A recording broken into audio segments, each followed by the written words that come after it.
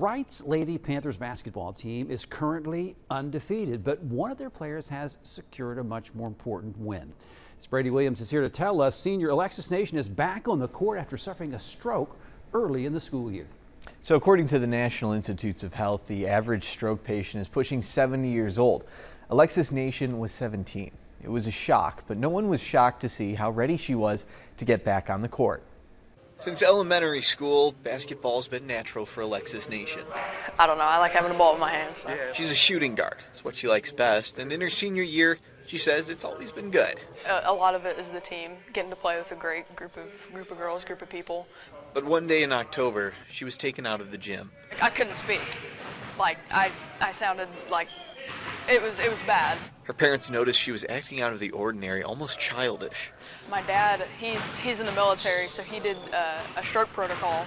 That's when they knew she needed to go to the hospital, where they had her under observation. They put me on a bunch of stuff. I was still running a bunch of tests because they weren't for sure. They're like, no way, a 17-year-old can have a stroke. A hole between two chambers of her heart allowed a clot to go to her brain, and sure enough, she had a stroke at 17.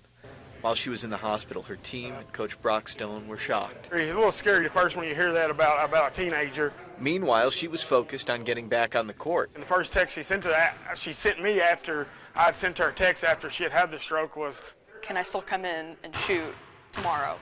And my mom's like, "You can't go shoot tomorrow. They think you had a stroke." In fact, she still needed surgery on her heart. And I'm like, "Well, but I'm fine now. Like I was ready to get back to it." She had that surgery on November 1st, and she is back to it. Just wanted to be back to what I was doing normally, my normal routine. Basketball, gym, school. What's not normal for her is how the community has reacted. I mean, I'm not a person who really likes attention, so I'm just, I'm just like, like I'm, I'm trying to, but at the same time, like I never knew that many people really, really cared.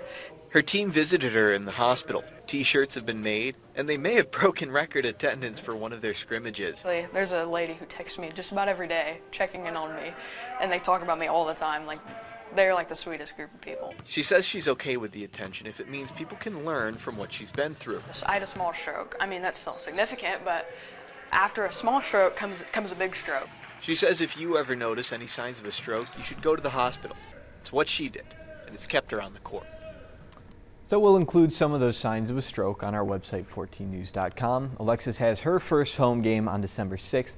She says she has reason to believe it's going to be a pretty good turnout.